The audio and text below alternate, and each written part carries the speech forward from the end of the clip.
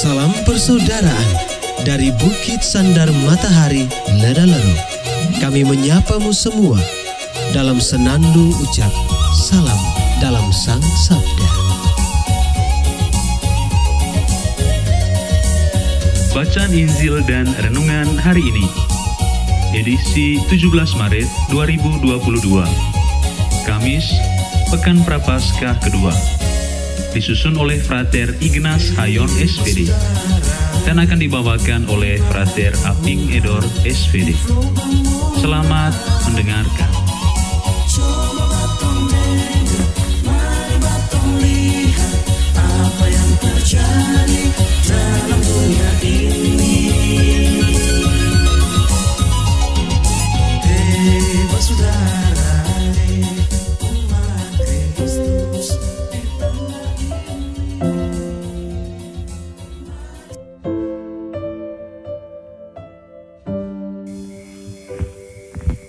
Bacaan diambil dari Injil Lukas bab 16 ayat 19 sampai 31. Sekali peristiwa Yesus berkata kepada murid-muridnya, Ada seorang kaya yang selalu berpakaian jubah ungu dan kain halus, dan setiap hari ia bersukaria dalam kemewahan. Dan ada seorang pengemis bernama Lazarus, badannya penuh dengan borok. Ia berbaring dekat pintu rumah orang kaya itu dan ingin menghilangkan laparnya dengan apa yang jatuh dari meja orang kaya itu. Malahan anjing-anjing datang dan menjilat boroknya. Kemudian matilah orang miskin itu, lalu dibawa oleh malaikat-malaikat ke pangkuan Abraham. Orang kaya itu juga mati, lalu dikubur. Sementara menderita sengsara di alam maut, ia memandang ke atas dan dari jauh dilihatnya Abraham dengan Lazarus duduk di pangkuannya. Ia berseru, Bapa Abraham, kasihanilah aku. Suruhlah Lazarus mencelupkan ujung jarinya ke dalam air dan menyejukkan lidahku, sebab aku sangat kesakitan dalam nyala api ini.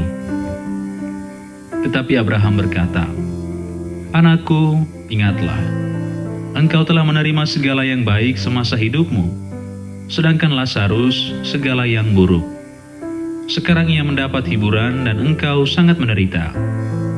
Selain daripada itu, di antara kami dan engkau terbentang jurang yang tak terseberangi, sehingga mereka yang mau pergi dari sini kepadamu, ataupun mereka yang mau datang dari situ kepada kami, tidak dapat menyeberang.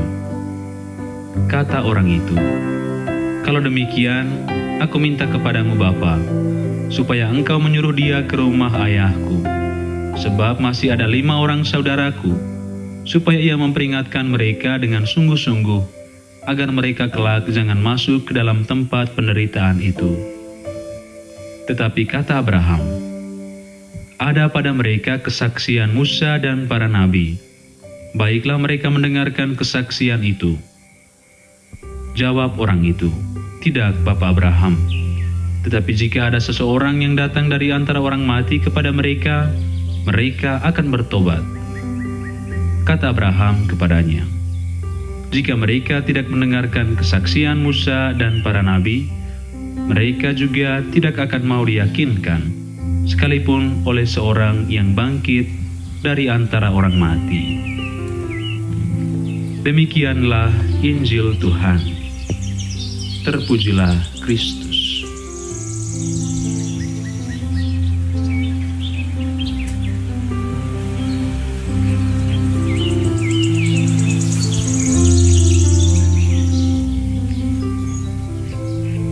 Bapak, Ibu, saudara-saudari, pencinta Sang Sabda yang terkasih.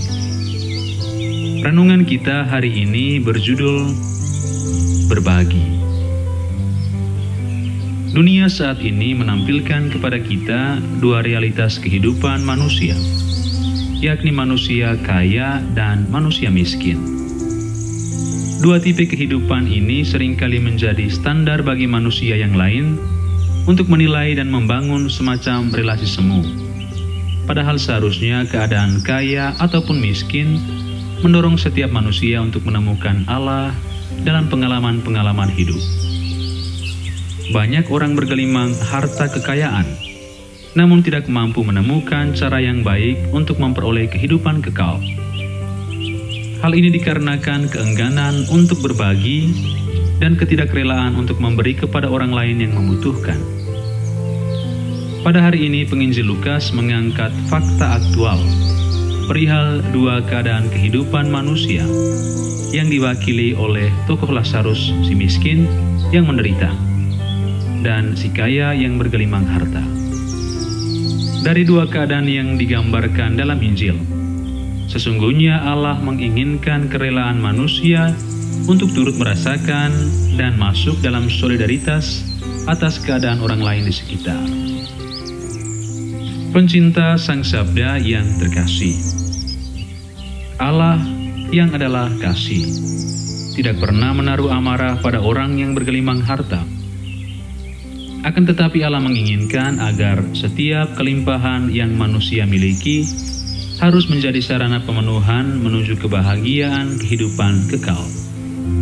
Allah menawarkan kepada setiap manusia untuk mengumpulkan harta surgawi yang membawa jiwa manusia pada keselamatan dan kebahagiaan abadi, dan bukan sebaliknya, mengumpulkan harta duniawi yang membawa manusia ke dalam dosa dan penderitaan neraka. Mari, dalam kelimpahan yang kita miliki, kita semua dipanggil oleh Allah untuk membangun empati dan solidaritas kepada orang yang tengah membutuhkan. Dengan kasih yang sama, semua kita diingatkan bahwa harta surgawi haruslah diutamakan dalam mencapai kebahagiaan abadi, agar kelak bila tiba waktunya berpulang, kita pun turut diperhitungkan dan diselamatkan oleh Allah. Ya Tuhan, semoga di masa prapaskah ini kami menaruh rasa peduli dan dengan murah hati berbagi kepada sesama kami yang miskin dan menderita. Amin.